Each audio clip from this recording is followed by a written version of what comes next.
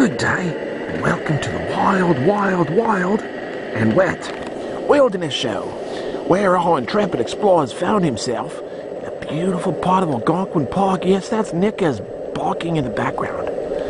But unfortunately, the weather hasn't been cooperating. So our traveling companion, who neglected to set up a top early, yes, Nickers, decided to erect a little bit of a top himself. And as we can see, there's the kitchen. Not a very big top. Oh, look, there's the soup over there, that's for dinner. And he's got some tea over here on the boil. And dessert is over here, but he hasn't figured out what he's going to have yet. We'll just take a look at our, at our handy dandy little kitchen shelter and see what our, our intrepid explorer has put together. Oh, crikey. He is a smart little bastard, isn't he? Did that in a pouring rainstorm, he did.